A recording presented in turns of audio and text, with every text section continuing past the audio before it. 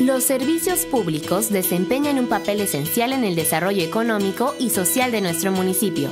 El gobierno municipal es responsable de garantizar que estos servicios lleguen a todas y cada una de las comunidades de nuestro municipio.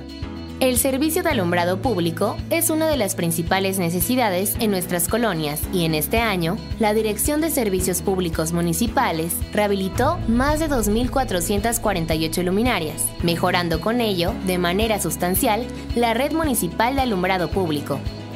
673 trabajos fueron ejecutados para el mantenimiento de parques y jardines públicos.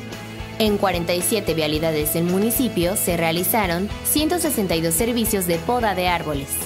De la misma manera, se realizaron 216 acciones de mantenimiento en los nueve panteones municipales.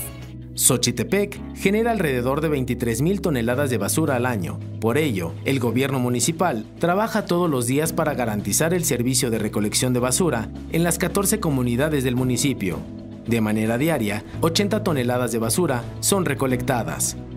Como resultado de las mesas de negociación entre pobladores, el gobierno municipal y el gobierno estatal, se determinó realizar el destino final de los desechos municipales en la planta de valoración de residuos que se ubica a un costado de la unidad deportiva Mariano Matamoros.